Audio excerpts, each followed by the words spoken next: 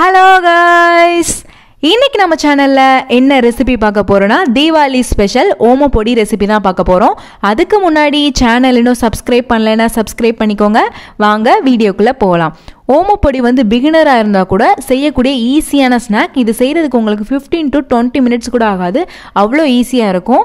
ஓமப்பொடியை எப்படி வீட்டிலையே கடையில் இருக்கிற மாதிரி டேஸ்ட்டில் ஈஸியாக செய்கிறதுன்றதான் இந்த வீடியோவில் பார்க்க போகிறோம் வாங்க வீடியோக்குள்ளே போகலாம் இப்போ வந்து ஒரு பேனில் அரை கப் அளவுக்கு தண்ணி ஊற்றிக்கோங்க ஒரு டேபிள் ஸ்பூன் அளவுக்கு ஓமம் வந்து ஆட் பண்ணிக்கோங்க.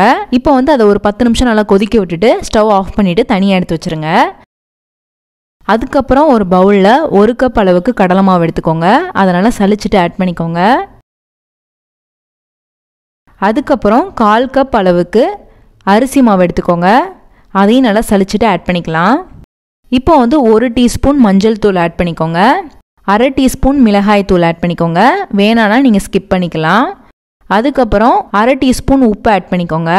அதுக்கப்புறம் கால் டீஸ்பூன் அளவுக்கு பெருங்காயத்தூள். அதுக்கப்புறம் ஒரு டேபிள் ஸ்பூன் சூடு பண்ண எண்ணெய் இல்லைன்னா பட்டர் இல்லைன்னா நெய்யை ஆட் பண்ணிக்கோங்க.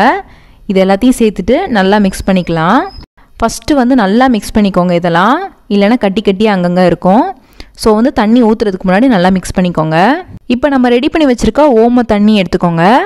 அதை வந்து நல்லா ஃபில்ட்ரு பண்ணி எடுத்துக்கலாம். அந்த தண்ணியை மட்டும் நல்லா எக்ஸ்ட்ராக்ட் பண்ணிவிட்டு அந்த சீட்ஸ் எல்லாம் அப்படியே வச்சுருங்க. இப்போ வந்து பார்த்திங்கன்னா இந்த தண்ணியே போதும் நம்மளுக்கு பிசைகிறதுக்கு இப்போ வந்து நம்ம கொஞ்சம் கொஞ்சமாக அதை ஆட் பண்ணி நல்லா பிசைஞ்சு எடுத்துக்கலாம். நிறையா ஊற்றிடாதீங்க கடலை மாவு ஆல்ரெடி பிசு பிசுன்னு தான் இருக்கும்.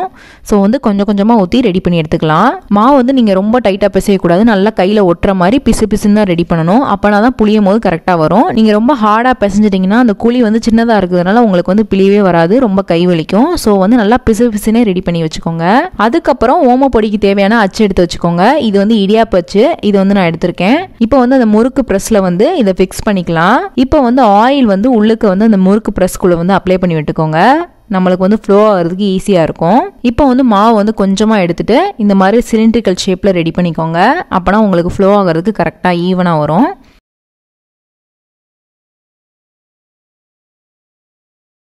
இப்போ வந்து அதை ஃபஸ்ட்டு வந்து உள்ளுக்கு வச்சுக்கலாம். வச்சுட்டு வந்து நல்லா டைட் பண்ணி எடுத்துக்கோங்க.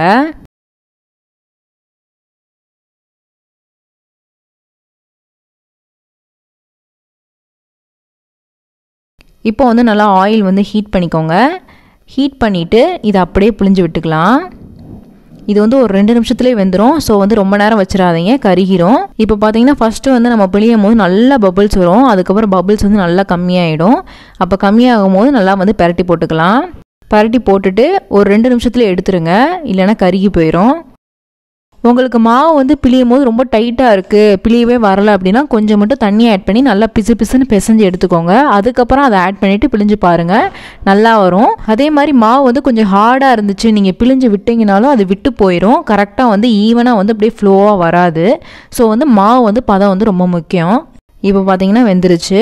இதை நம்ம எடுத்துக்கலாம். எண்ணெயை வடிச்சிட்டு இதே மாதிரி எல்லாத்தையும் ரெடி பண்ணி எடுத்துக்கோங்க. அதுக்கப்புறம் லாஸ்ட் வந்து கருவேப்பிலையை வந்து நல்லா ஃப்ரை பண்ணி தனியாக எடுத்து வச்சுக்கோங்க. இப்போ பார்த்தீங்கன்னா எல்லாமே ரெடி பண்ணி எடுத்தாச்சு. இப்போ இதை வந்து ஒன் பை ஒன்னாக மெதுவாக அடிக்க வச்சுக்கலாம்.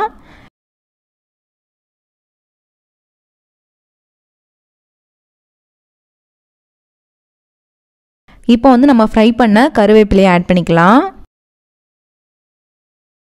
இப்போ இதை நீங்கள் வந்து ஃபுல்லாக உடச்சும் சாப்பிட்லாம். இல்லை அப்படியே முழுசாக முறுக்கு மாதிரியும் சாப்பிட்லாம். எப்படினாலும் சாப்பிட்லாம். அது உங்கள் விஷ் தான். இப்போ இது வந்து உடச்சி காமிக்கணும் பாருங்கள் எவ்வளோ கிறிஸ்பியாக நல்லா க்ரன்ச்சியாக வந்திருக்குன்னு. இந்த மாதிரி வந்து உடச்சி வச்சுக்கோங்க. பாருங்கள் நீட்டாகவே வந்திருக்கு. அவ்வளோதான் ரொம்பவே ஈஸியான சிம்பிளான தீபாவளி ஸ்பெஷல் ஓமப்பொடி ரெடி ஆயிடுச்சு இந்த ரெசிபி உங்களுக்கு பிடிச்சிருக்கும்னு நினைக்கிறேன். பிடிச்சிருந்தா லைக் பண்ணுங்கள் ஷேர் பண்ணுங்கள் கமெண்ட் பண்ணுங்கள் மறக்காமல் சேனலை சப்ஸ்கிரைப் பண்ணுங்கள் இன்னொரு வீடியோவில் பார்க்குறேன் பாய்